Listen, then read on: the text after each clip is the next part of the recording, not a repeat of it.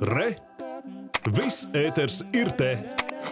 Šodien Lielo pilsētu asociācijas konferencē Jelgavā tiks spriests par Latvijas tautsaimniecības virzību, arī Eiropas Savienības fondu atbalstu enerģētikas krīzē un Krievijas kara ietekmi uz visas Eiropas ekonomiku. Konferencē piedalīsies arī Valdis Dombrovskis, Eiropas komisijas priekšstādātājs izpildvietnieks. Un šorīt mums Latvijas televīzijas studijā ir iespēja viņu izstājāt kā par šiem jautājumiem, tā arī par atziņām, kas nesen gūtas Davos formā, tā skaitā ekonomikas prognozēm Eiropā un globālā mērogā. Labrīt! Labrīt! Labrīt. Bet šobrīd mēs arī gribētu par mūsu Latvijas valsts šī gada vēl neapstiprināto budžetu jums vaicāt. To jūs pārunājāt arī piekdien tiekoties ar premjeru Krišānu Kariņu. Kā jūs vērtējat, kā Latvijas budžetā izdodas tas balans starp atbalstu iedzīvotājiem un uzņēmējiem šajā brīdī, kad ir enerģētikas krīze, tomēr arī cenas inflācija un nu, kas paredz izdevumus. Un arī starp tādu efektīvu plānošanu, kas saistīta ar parāda nepalielināšanu, neiebraukšanu, tā teikt, pārāk lielā parādu dziļumā. Uh, jā, nu, uh, tieši tā, ja runājam par uh, budžeta plānošanu, pro, protams, pašreiz tas nav viegls uzdevums, jo vajadzība ir ļoti daudz. Tajā pašā laikā budžeta deficīts ir pakāpeniski jāmazina, arī kaut vai skatoties uz valsts parāda apkalpošanas izmaksām, kas pieaug. Līdz ar to nu, pozitīvi ir tas, ka gan pagājušā gada budžeta deficīts tomēr ir mazāks nekā prognozēts, ap 5% no IKP. Un arī šogad tātad, valdība plāno budžeta deficītu tātad, samazināt. Tā kā no, no, no šī viedokļa nu, tā virzība ir pareizajā, pareizajā virzienā. Skaidrs, ka jāturpina atbalsta pasākumu gan iedzīvotājiem, gan uzņēmējiem attiecībā uz augstajām enerģijas cenām. Protams, ir jāiegulda papildus līdzekļi arī valsts drošībā, citās prioritātēs. Nu, līdz ar to uh, svarīgi visas šīs lietas sabalansēt. Bet, ja mēs skatāmies vispār uz Eiropu, ko, e, Eiropu kopumā, cik lielas ir nu, teikt, nobīdes uh, valstīm no tādas pirms Covid finanšu disciplīnas, uh, redzot to, kas notiek tagad?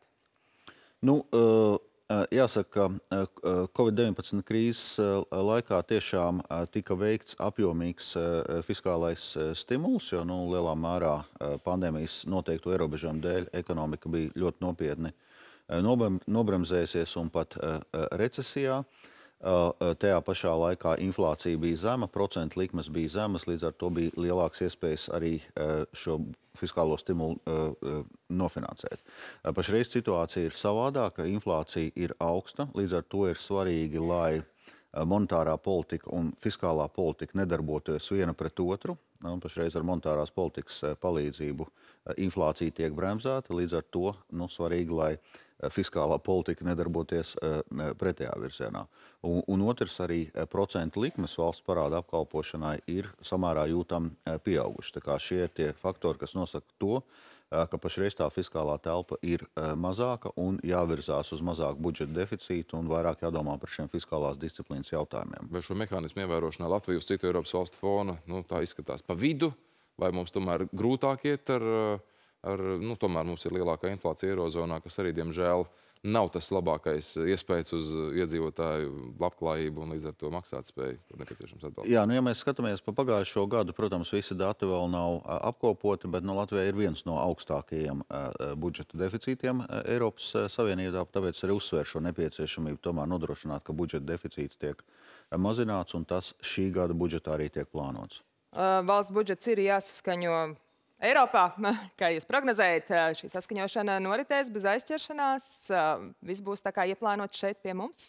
Uh, nu, tā gribētos cerēt, ja kurā gadījumā tā saruna, kas man bija ar premjeru kungu Kariņu piekdienu, liecina par to, ka var teikt, budžets, kā saka, iet pareizajā virzienā. Kā ar situāciju, kad augstas inflācijas, energo cenu krīzes, kā mēs runājam apstākļos, politiķi tomēr izšķiras šajā laikā, šajā laikā sev algas palielināt? Vai tas ir, vai tas ir ok, tā tautas valodā runājot, kā jūs teikt? Vai tur tāda fiskālā ētika nebūtu vajadzīga arī? Ne, nu, tas, protams, ir jautājums, kas jārisina te uz vietas Latvijā no Eiropas komisijas viedokļa. Mēs nevēl, nu, nevērtējam tur konkrētos algus palielinājumus vienai otrai kategorijai. Mēs vērtējam šo kopējo teiksim, budžeta deficītu un kopējo virzību, kas ir budžetā. Tas ir nu, šeit uz vietas. Tas ir nacionālās kompetences jautājums. Es domāju, varbūt jums ir kāds tāds morāls vērtējums šim stāstam, bet acīm redzot, mēs pieturēsimies pie skaitliskajiem. Jā, nu skaidrs, ka karš Ukrainā ietekmē pilnīgi visas mūsu sadzīves jomas, un neprognozējamība ir kļuvusi par to lietu, ar ko mēs esam spiesti sadzīvot. Bet kāda šobrīd ir tās prognozes tīri attiecībā uz ekonomiku un uz kara ietekmi? Pirms tam tika runāts vēl netik sen par milzīgu recesiju, kas mūs sagaida. Šobrīd izskatās, ka recesija varētu būt krietni tāda mērenāka.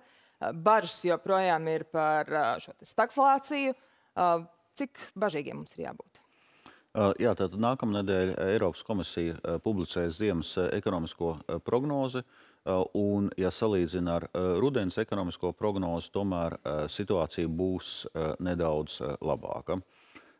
Tas, ko mēs redzam, ka inflācija varētu būt sasniegusi savu maksimumu jau pagājušā gada nogalē, un tagad pakāpeniski samazināsies. Darba spēka tirgus saglabājās samērā stabils, tātad nodarbinātības rādītāji ir labi. Enerģijas cenas, tīpaši skatāmies uz dabas gāzes cenām, arī pašreiz ir zemākas nekā iepriekš bija prognozēts. Līdz ar to arī var sagaidīt, ka nu, ekonomika kopumā attīstīsies nedaudz labāk nekā tas iepriekš bija prognozēts. Tātad, ja, Uh, rudens ekonomiskajā prognozē mums bija 0,3% izaugsme šim gadam Eiropas Savienībā kopumā. Nu, tad var domāt, ka šis rādītājs tiks koriģēts nedaudz uz augšu. Latvijas gadījumā prognoze bija tātad 0,3% ekonomikas kritums. Nu, arī šī prognoze tiks koriģēta uz augšu, nu, tātad kaut kur ap, ap nuli, bet nu, precīzos skaidrs mēs redzēsim nākamajā nedēļā. Vai ir kaut kādi būtiski riski, kas tomēr saglabājas par spīti cerīgākām prognozēm gan Eiropas, gan arī globālajā ekonomikā, un ar ko tad ir tādi ekonomiski saistīti? Militāri mēs nu, saprotam, par ko runājam. Uh, riski, protams, ir, jo nu, saistībā ar uh, Krievijas iebrukumu Ukrainā tad saglabājas ļoti liela uh, nenoteiktība un nestabilitāte. Viens svarīgs jautājums vēl aizvien būs energoapgādes drošība. Uh, Jo eh, šogad, teiksim, vai nu šoziem, eh, eh, Eiropas Savienības gāzes krātuvēs ir bijuši pietiekami lieli vēl aizvien Krievijas gāzes krājumi, kas pamatā tika iepumpēti pagājušā gada pirmajā pusē. Tātad šogad mēs ar to nevaram rēķināties. Tātad būs jānodrošina vēl apjomīgas alternatīvas papildus gāzes piegādes, tātad no citiem piegādātājiem.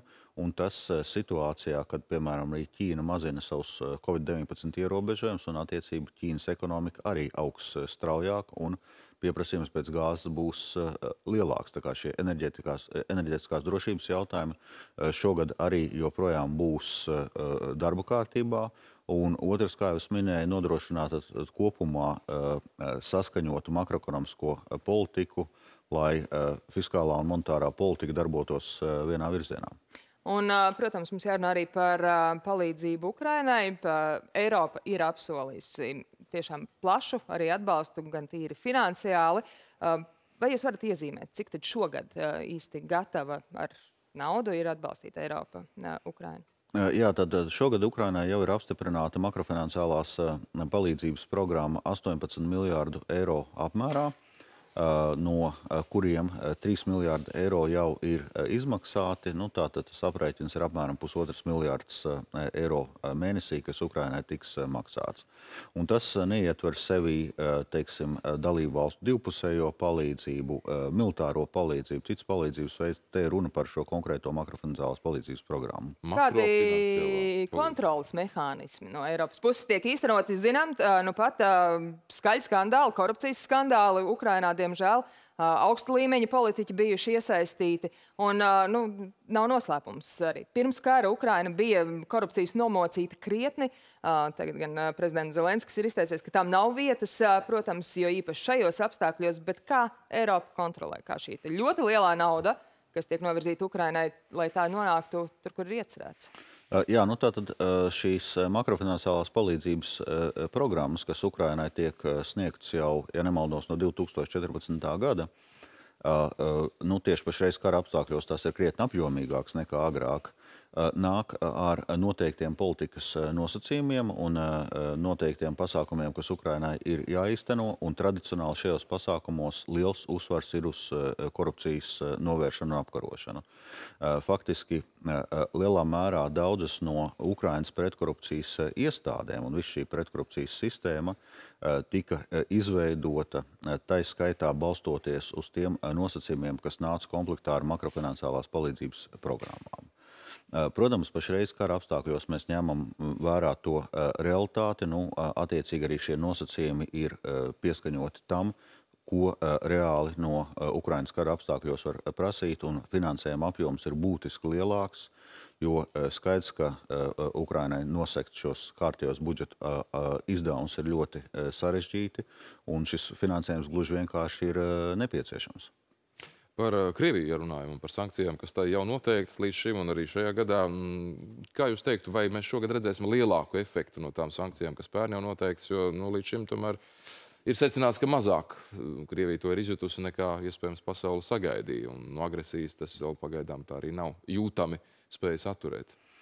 Jā, nu, pašreiz pret Krieviju Eiropas Savienība ir īstenojusi jau deviņas sankciju paketes, un pašreiz tiek gatavota desmitā sankciju pakete. Uh, tiek paredzēts arī, ka nākošais mēnesis varētu būt G7 vienošanās tātad ne tikai par cenu griestiem attiecībā uz Krievijas naftu, kas jau ir noteikti, bet arī cenu griestiem attiecībā uz Krievijas naftas produktiem. Attiecībā uz šo sankciju ietekmi uz Krievijas ekonomiku, jāsaka, šī ietekme ir jūtama. Tātad neraugoties uz to, ka pagājušajā gadā bija rekord augstas enerģijas cenas, Eh, Krievijas ekonomikā bija recesija. Un sagaidāms, ka šogad Krievijas ekonomikā recesija uh, turpināsies. Uh, un tā ir tiešā sankciju ietekme. Jo normāli teiksim, Krievijas ekonomika ir ļoti atkarīga no energoresursu eksporta. Un, attiecīgi, energoresursu cenas ir nu, būtisks faktors Krievijas ekonomikas izaugsmē.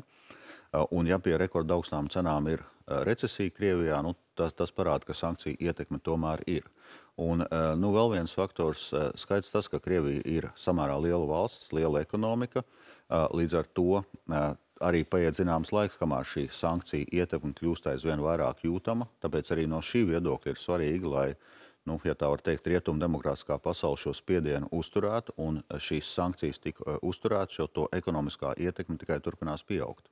Varat minēt kādu piemēru, kad sankcijas, plašas sankcijas tiešām būtu piespiedušas kādu totalitāru režīmu mainīt savu nostāju?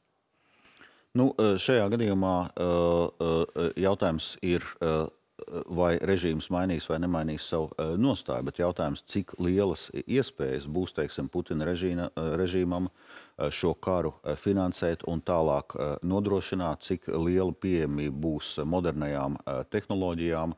Tā kā te nav runa par to, vai režīms mainīs vai nemainīs savus domas, bet cik lieli līdzekļi būs režīma rīcībā, lai šo karu varētu turpināt.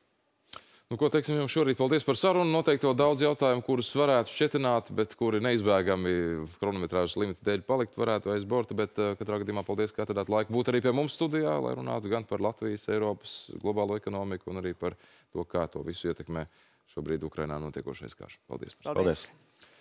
Valdis Dombrovskis, Eiropas komisijas priekšsēdētājs izpildvietnieks šeit pie